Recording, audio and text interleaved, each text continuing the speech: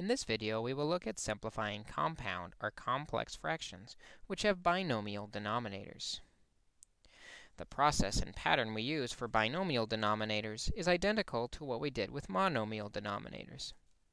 We need to identify the least common denominator of our fractions and then multiply each term, fraction or not, multiply each term by that LCD. In this problem, there is only the one denominator of x minus 4. I'm sorry, x plus 4. And so that's what we will multiply each fraction by, or each term by. Multiplying x plus 4, x plus 4, both numerator and denominator, same thing, x plus 4, x plus 4. And then we'll look to see what we have left after we reduce. In the first fraction, the x plus 4's divide out, which simply leaves the 3 make it a little cleaner here. There we go. We also have minus 2 times the x plus 4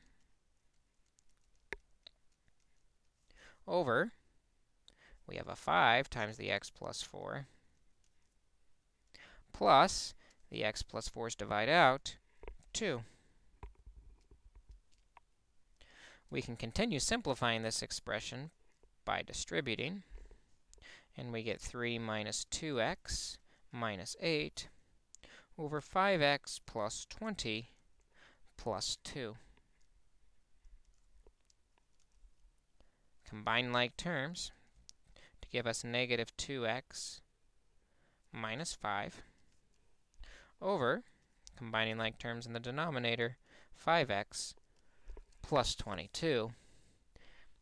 And because this doesn't factor anymore, we have our final solution we simplified the compound or complex part of the fraction by multiplying everything by the LCD of x plus 4.